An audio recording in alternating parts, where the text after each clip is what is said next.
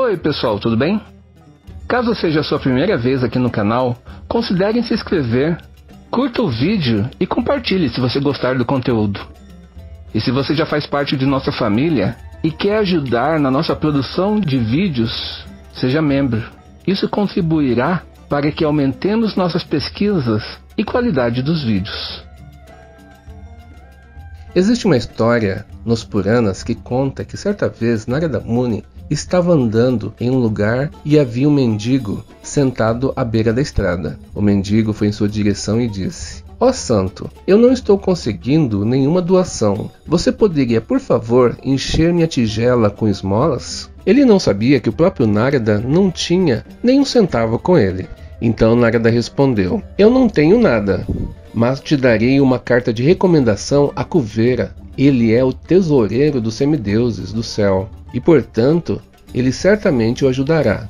Então Narada escreveu a carta para Kuvera que dizia o seguinte: Caro Kuvera, estou enviando um mendigo com uma tigela de esmolas. Por favor, veja se você pode deixar a tigela dele cheia. Com muito carinho, Narada. O mendigo, pela bênção de Narada, pôde ir até os planetas celestiais e encontrou Kuvera e mostrou-lhe a carta. Kuvera ficou muito feliz com aquela carta e imediatamente ordenou aos seus servos que fizessem o necessário para dar alguma riqueza àquele pobre homem.